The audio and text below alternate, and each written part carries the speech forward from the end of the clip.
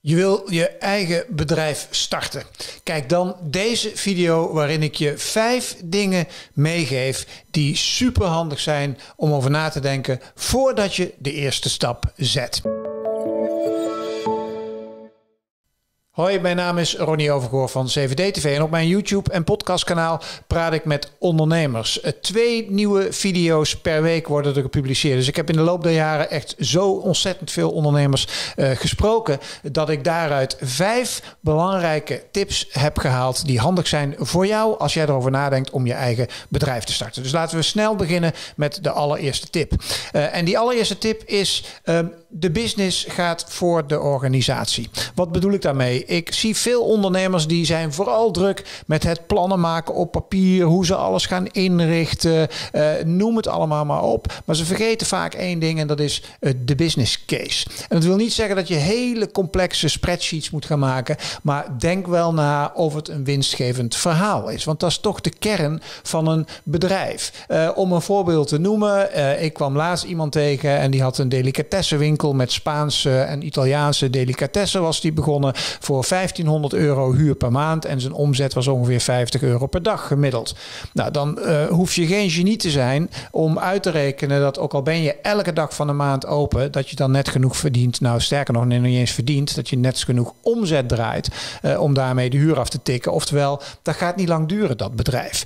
Dus denk na over je business case. Ga met een papiertje zitten en ga gewoon simpel nadenken. Wat wat bied ik aan diensten of aan producten? Wat levert dat allemaal op? Wat kost me dat allemaal om het te maken? Wat heb ik verder nog aan kosten die ik moet hebben over de loop der jaren heen? Maak een rekensommetje. Oh, en vergeet niet, je wil er zelf ook nog wat aan overhouden.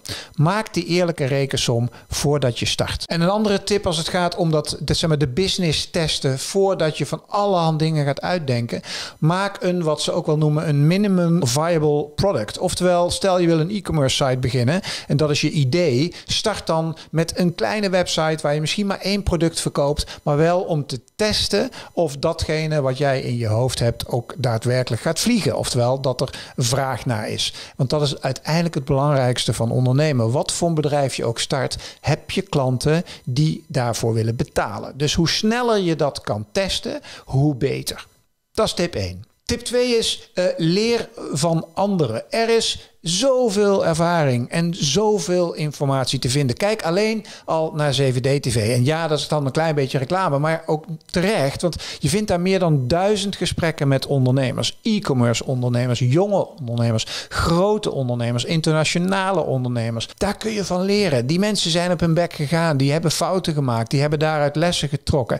Zoek de informatie op op het internet voordat je zelf die eerste stappen zet. En 7D-TV is daar een prima startpunt voor. Maar voor de rest, heel YouTube zit vol met van allerhand video's die gaan over ondernemen. Dus zorg dat je dingen leert. Zorg dat je alle vragen die je nu hebt, typ ze in in Google, typ ze in in YouTube, YouTube en spendeer een aantal avonden om alle vragen beantwoord te krijgen voordat je begint en hele domme fouten gaat maken die je prima had kunnen voorkomen. En oh, nog Misschien nog wel belangrijker, 7D-TV, als je al die ondernemers, als je de verschillende video's uitpikt en je gaat ze kijken, uh, het is ook nog eens een keer inspirerend. Uh, weet je, het geeft je inspiratie, het wakkert je ambitie aan, uh, dus het maakt je ook nog eens een keer misschien nog enthousiaster als dat je al bent. Dus leer van anderen. De derde tip is, denk goed na met wie je het gaat doen. Kijk, als je als ZZP'er aan de slag wil of als freelancer, dan is het niet zo moeilijk. Dan ga je het in je eentje doen.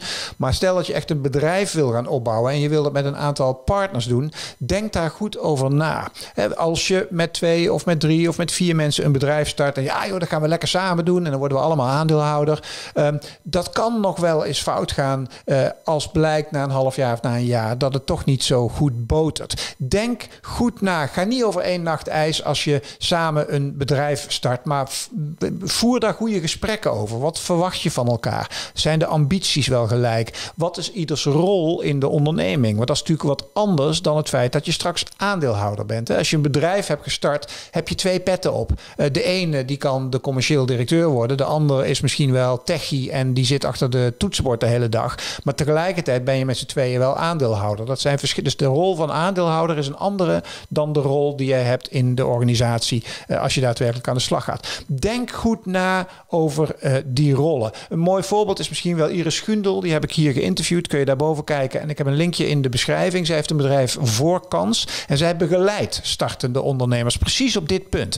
Van hoe kun je de samenwerking nou echt op een goede manier uh, vormgeven. Uh, om te voorkomen dat je straks met de ellende zit. Dus denk daar goed over na. Dat was tip 3. Tip 4 is: um, denk na over als je een organisatie gaat, uh, gaat opzetten. Um, hoe ga je dat doen qua collega's, qua medewerkers, qua mensen? Er zijn natuurlijk vandaag de dag prima mogelijkheden om met een heel klein vast team te werken. En om daaromheen een hele flexibele schil te bouwen van verschillende expertises die je nodig hebt, van mensen die je nodig hebt. Maar het kan ook zo zijn dat je zegt: nee, we willen echt een eigen bedrijf bouwen. We willen mensen aannemen uh, we willen een vast team vormen. Denk daarover na, want allebei de kanten hebben hun voor- en hun nadelen. Een kleine organisatie met heel veel freelancers en ZZP'ers is misschien flexibeler, is kostenwise misschien wel van een andere structuur, in ieder geval flexibeler. Uh, maar met een eigen team wat opbouwen, daar valt ook wat voor te zeggen. Als je een kennisintensieve organisatie bent en je wil dat heel graag zelf opbouwen. Denk daar van tevoren over na als je echt een bedrijf wil gaan opzetten wat groot moet groeien. Denk na over hoe gaan om met collega's.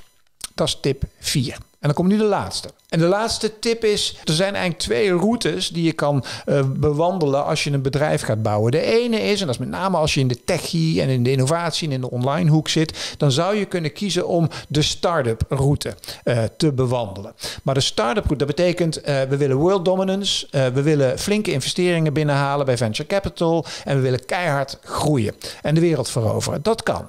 Bedenk je ook hierin weer, daar zitten ook nadelen aan. Ik heb laatst Eva de Mol uh, geïnterviewd. Eva de Mollers van Capital T. Zij investeert in startups, met name in de eerste fase. Dus in, wellicht in jou, als jij net met je bedrijf wil gaan starten. Maar ook zij zegt, die wereld van startups die is keihard. Um, ik heb het interview hierboven. Kun je, het, uh, kun je het aanklikken. En beneden in de beschrijving, als je eerst de video even af wil kijken, deze uh, heb ik hem in de beschrijving staan. De link naar het gesprek met Eva uh, de Mol. Een andere route is, is de wat, ja, misschien wat rustigere route. Is dat je gewoon zegt van jongens, we nemen de tijd en we bouwen rustig het bedrijf op. Dus voor beide is wat te zeggen. Hè? Dus de start-up route met heel veel kapitaal, hele harde groei en world dominance. Of gewoon een bedrijf bouwen, omzet opbouwen, kosten laag houden, de winst investeren in je bedrijf en op die manier stap voor stap doorgroeien. Dit waren mijn vijf tips die wellicht handig zijn om eens door te nemen met je partner of met je, uh, degene met wie je een bedrijf wil starten of met jezelf als je dat alleen wil gaan doen. Uh, en rest mij te zeggen dat ik je heel veel succes wens en vooral heel veel plezier met het starten van je bedrijf. Want dat is uiteindelijk het allermooiste wat er is. Dankjewel voor het kijken. Hoi!